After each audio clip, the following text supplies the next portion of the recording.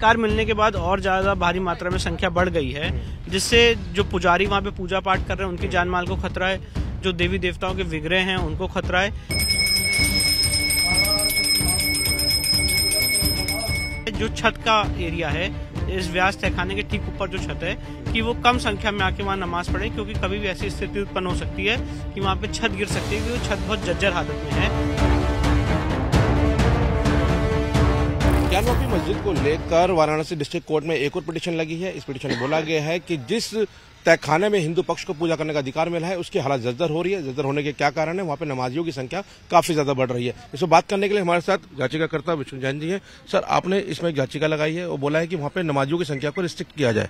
जी मैंने ज्ञानव्यापी मंदिर के लिए याचिका लगाई है और मैंने कहा है कि ज्ञानव्यापी मंदिर परिसर में जो ग्राउंड फ्लोर में पूजा हो रही है वहाँ पे वो जो तहखाना है वो जर्जर हालत में है और कभी भी वो गिर सकता है और नमाजी भारी मात्रा में वहाँ पे आके नमाज़ पढ़ रहे हैं जिससे छत गिरने की आशंका है तो इसलिए उसमें रिपेयर वर्क कराया जाए और रिपेयर वर्क करा के साथ ही साथ जब तक रिपेयर वर्क चल रहा है उनकी एंट्री को रिस्ट्रिक्ट किया जाए जो छत का एरिया है इस व्यास तहखाने के ठीक ऊपर जो छत है कि वो कम संख्या में आके वहाँ नमाज़ पढ़े क्योंकि कभी भी ऐसी स्थिति उत्पन्न हो सकती है कि वहाँ पे छत गिर सकती है कि वो छत बहुत जज्जर हालत में है।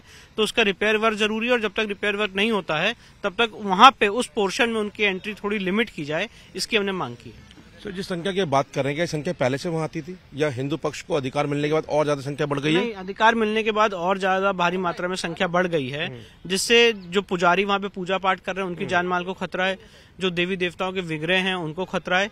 इसलिए हमने पूरी अ, अ, ये सारी बातें अपनी एप्लीकेशन में कोर्ट के समक्ष रखी हैं और माननीय डिस्ट्रिक्ट कोर्ट वाराणसी इसमें जल्दी सुनवाई करेगी सर जो मंदिर हो या मस्जिद जिसकी बात हम कर रहे हैं ज्ञानवापी में तो वो एएसआई के नॉर्म्स के तहत होगा। अगर वहाँ पे कुछ कंस्ट्रक्शन होती है जिस आप कह रहे हैं तो क्या एएसआई के नॉर्म्स जो है उसके उसकी अवेलना नहीं होगी? एएसआई का नॉर्म्स सर इसमें लागू नहीं होता है क्योंकि एएसआई प्रोटेक्टेड मॉन्यूमेंट नहीं है। तो ये बात कहना कि एएसआई के नॉर्म्स के तहत होगा ये अपने आप में गलत है क्योंकि एएसआई के नॉर्म्स यहाँ लागू ही नहीं होते हैं क्योंकि एएसआई प्रोटेक्टेड मॉन्यूमेंट नहीं है। ये इस समय अंजुमन इंतजामिया के कंट्रोल में इसीलिए सिविल कोर्ट में मुकदमा चल रहा है।